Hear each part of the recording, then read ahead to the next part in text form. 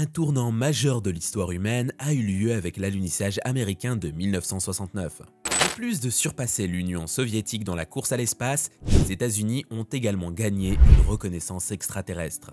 Cependant, les récentes révélations à la suite d'une déclaration étonnante du PDG de SpaceX, Elon Musk, pourraient remettre en question notre compréhension actuelle de l'alunissage. Avons-nous été trompés? Qu'a précisément révélé Elon Musk? Explorons cela. La fusée Apollo 2 s'est littéralement propulsée vers la Lune pendant les premières heures du 20 juillet 1969, captivant l'attention du monde entier. Les astronautes Frank Borman, Jim Lovell et Bill Anders, membres d'Apollo 8, avaient quitté l'orbite terrestre et entrepris un voyage vers la Lune 7 mois plus tôt. Ils ont passé 20 heures à orbiter autour de la Lune, complétant 10 rotations, mais malheureusement, ils n'ont pas touché sa surface. Néanmoins, cela a marqué une étape dans la bonne direction. Le résultat est venu 7 mois plus tard lorsque Apollo 11 a réalisé ce qui leur avait presque échappé. Une avancée monumentale pour l'humanité. L'équipage ainsi que la fusée qui les transportait ont dû faire face à d'énormes défis pour effectuer le voyage de la Terre à l'étendue lunaire. Malgré les obstacles, ils ont réussi à atterrir à environ 6,44 km du lieu prévu après un voyage de 4 jours, 6 heures et 45 minutes.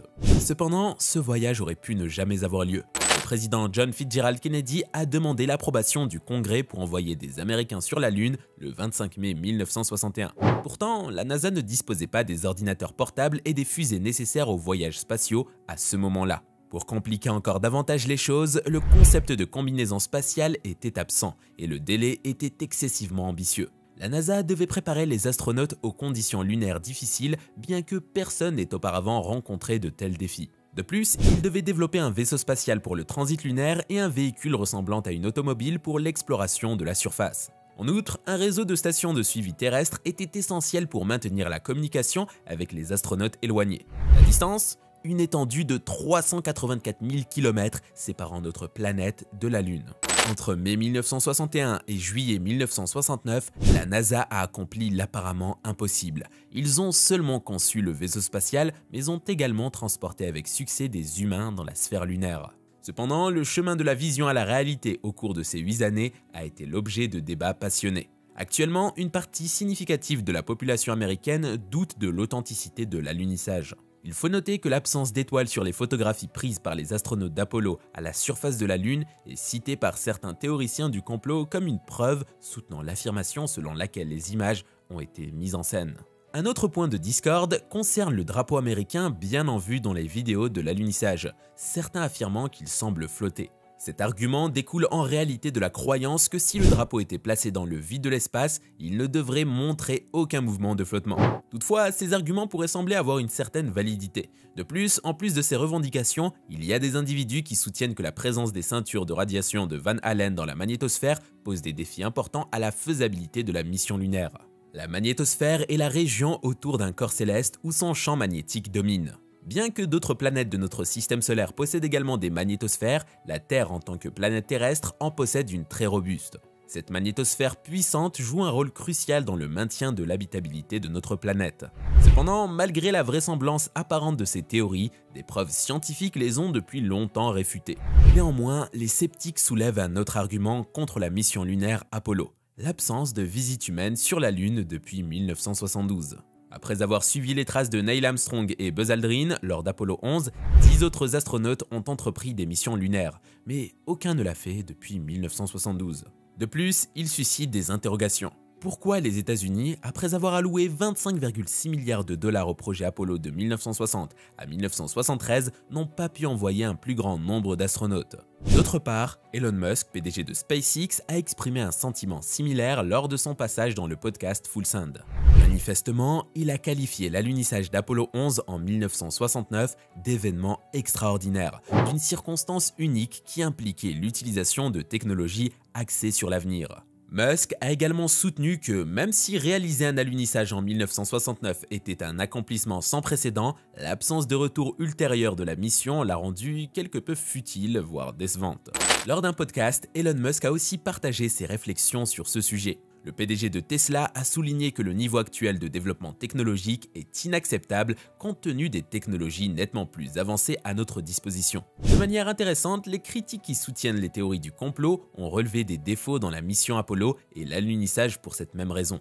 La perspective d'Elon Musk diffère de celle de ses critiques, car il considère que la mission Apollo a joué un rôle essentiel dans le développement de SpaceX, marquant le début d'une ère de progrès technologique sans précédent. Ensuite, Musk a soutenu que l'alunissage, au lieu d'être simplement le point de départ de l'ère spatiale, a joué un rôle déterminant dans le catalyseur de l'ère numérique. Il a mis en avant l'adoption des circuits intégrés, les premières puces informatiques dans les modules de commande et les modules lunaires du projet Apollo. La NASA exigeant des conceptions quasiment parfaites pour ces circuits intégrés, cela a conduit à l'émergence d'un marché mondial des micropuces au début des années 1960. Il est notable que même si IBM, la principale entreprise technologique de l'époque aux États-Unis, a choisi de ne pas les utiliser dans ses ordinateurs, la demande de la NASA a joué un rôle essentiel. La préoccupation d'Elon Musk pour faire progresser l'ère spatiale découle de ce contexte historique.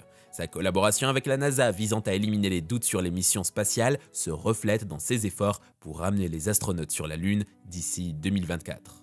L'implication de SpaceX dans la mission lunaire Artemis de la NASA comprend le développement du système d'atterrissage humain HLS. Ce partenariat, facilité par un contrat de 2,09 milliards de dollars accordé par la NASA, implique l'adaptation de la fusée Starship de SpaceX pour le projet. Cette fusée innovante promet de transporter les astronautes plus loin dans l'espace à un coût de lancement inférieur par rapport au vaisseau spatial Falcon actuel.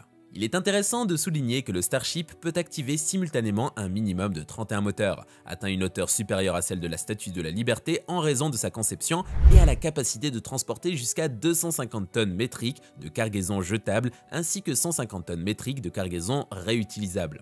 Elon Musk a affirmé qu'il pouvait livrer 100 tonnes de charge utiles sur la Lune, ouvrant ainsi la possibilité de construire une base lunaire. SpaceX développe également une version alternative du vaisseau spatial pour les missions Artemis 3 et 4 prévues pour la fin de cette décennie. Par conséquent, plusieurs missions sont planifiées dans le cadre du programme Artemis de la NASA, y compris des voyages en orbite lunaire et sur la surface lunaire. Il faut savoir que la prochaine mission Artemis a l'intention de transporter les astronautes au-delà des ceintures de Van Allen, ce qui permettra des atterrissages sur Mars et dans la région polaire sud de la Lune. Cette mission pourrait réellement améliorer notre compréhension de la vie au-delà des ceintures de Van Allen et fournir des informations sur l'agriculture, sur la Lune, les diverses sources de carburant et les stratégies pour maintenir la santé de l'équipage au milieu des rigueurs de l'espace au-delà des confins protecteurs des ceintures de Van Allen. Néanmoins, d'importants défis entravent le retour à l'exploration lunaire. Musk estime que le coût de construction du Starship s'élève à environ 5 milliards de dollars, et jusqu'à présent, les contrats de la NASA ont fourni un soutien limité pour cette entreprise coûteuse. La mission lunaire fait face à la concurrence d'autres priorités de la NASA telles que la recherche sur le climat, les sciences de la Terre et les opérations de la station spatiale, chacune ayant ses propres objectifs impérieux. Les différents secteurs impliqués maintiennent des objectifs distincts qui ne peuvent être négligés pour prioriser la nouvelle exploration lunaire. Le projet lunaire a également rencontré des complications politiques en raison de divergences dans les plans et les engagements entre différentes administrations. Le programme Artemis de la NASA, annoncé pendant le mandat du président Donald Trump, visait un lancement en 2024, comme l'a souligné l'ancien vice-président Mike Pence. Cependant, des obstacles sont survenus sous l'administration du président Joe Biden, amenant l'inspecteur général de la NASA à juger le plan actuel de l'agence pour un atterrissage lunaire fin 2024 comme irréalisable.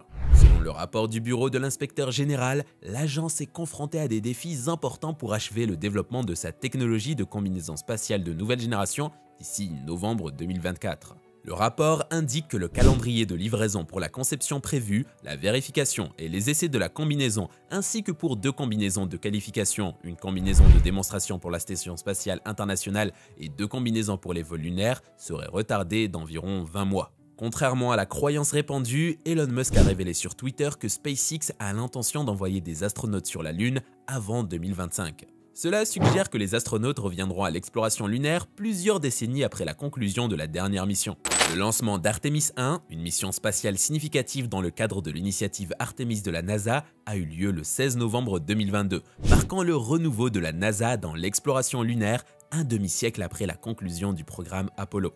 Assurément, cette mission a évalué les performances du vaisseau spatial Orion dans les conditions difficiles de l'espace profond, préparant ainsi son utilisation dans Artemis 2 avec des astronautes à bord. Elle a représenté le vol d'essai intégré inaugural à la fois du vaisseau spatial Orion et de la fusée Space Launch System, SLS.